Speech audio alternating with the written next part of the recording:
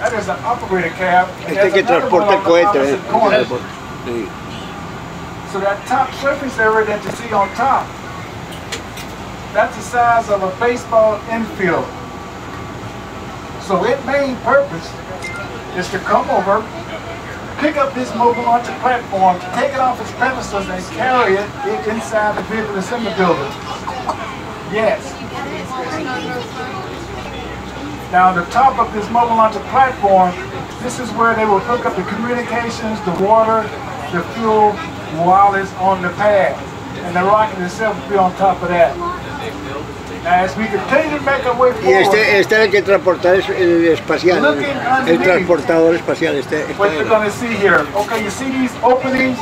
This is where the flame and blast will come through as it's sitting on the pad. Este es el que transporta el transportador Those holes in espacial. The back, that was for the solid rocket booster. Mira, mira, no este, este. The holes in No, eso es para armar el cohete, seguramente, no sé. That was for the three main engines of the shuttle. Pero este que el transportador espacial no lo manejaba este, este lo, este lo llevaba. Mira que tan grande para llevar el transportador espacial. Es.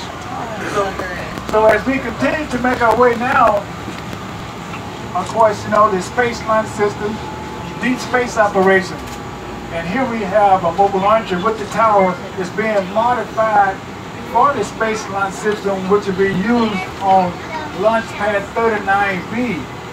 Here again, deep space operations, going to Mars. And of course, as we look today, you can see they are fabricating uh, support pieces to hold the rocket as, uh, as they get closer to Hay the que apagarlo. Ahí, ahí está, ahí project. está grabando, ahí está grabando.